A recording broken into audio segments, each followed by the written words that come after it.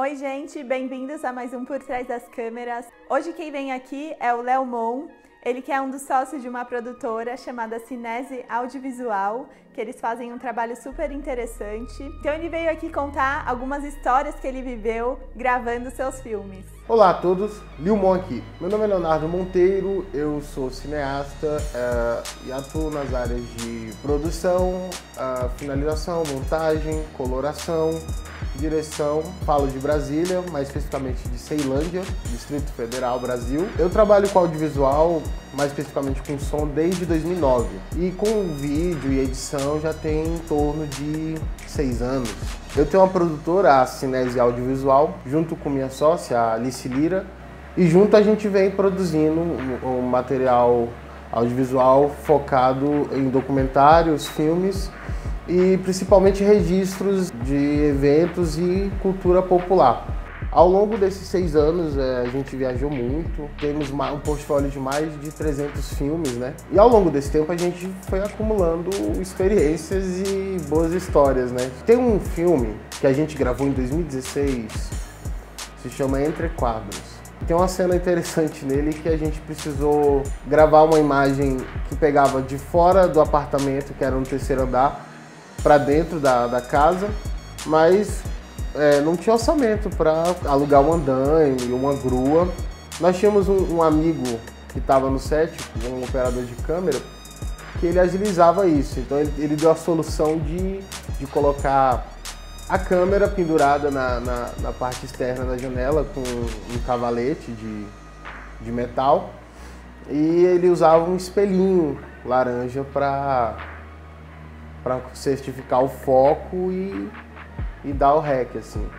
Nesse mesmo curta tinha uma cena que se passava uh, à noite, era a última cena do set e aconteceu que três horas da tarde já tinha terminado todas as outras cenas.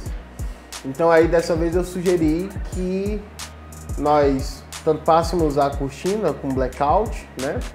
Na, na cena onde ia se gravar isso, que era uma sala, uh, colocasse os elementos de cena que iam transparecer que aquilo era noturno. E na parte externa, da, na, na saída do apartamento, tinha quatro janelões assim, super é, iluminados, que a gente tampou com cobertor, com caixa de papelão e conseguimos ter né, a, a, a sombra necessária para gravar cena.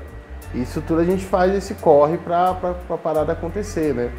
Tem também um outro filme que eu, que eu fiz a direção, que é o Bill Wayne, o filme.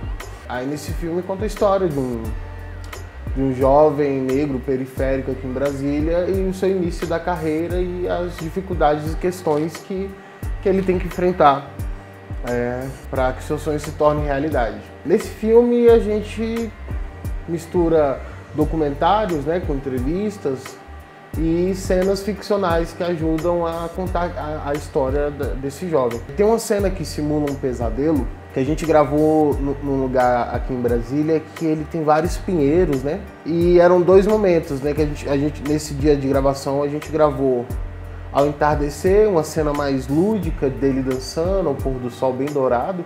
E a cena do pesadelo acontecia depois que o sol já tinha se posto, né?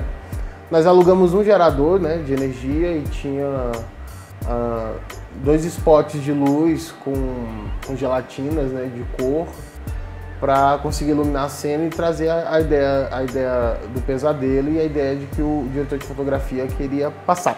Para mim, cada registro é único e serve para eternizar na memória a, aquele pedaço daquele tempo, daquele momento em que é, existia um fato e eu estava lá com minha câmera para registrar. Então, assim, eu tenho o audiovisual para mim como uma coisa quase que religiosa, né? No sentido dela ser uh, mágico e transcendente no, no, no aspecto de, de, eternizar o momento, né? Então, assim, espero que tenham gostado e essas e outras histórias também eu, eu conto lá no vlog uh, de uma maneira mais longa, né? E vida longa ao por detrás das câmeras. É, até uma próxima. Tchau, tchau. Léo, muito obrigada por ter apresentado o seu trabalho Eu gostei muito de descobrir as produções que vocês fizeram na Cinese Audiovisual. E quem quiser também ouvir mais histórias de making off, o Léo publica um vlog no Instagram dele, que está aqui na tela. Então vão lá seguir ele para descobrir mais histórias. E ele conta de um jeito super engraçado e foi assim, inclusive, que eu conheci o trabalho dele aqui pelo Instagram. Eu espero que vocês tenham gostado desse episódio e até a semana que vem.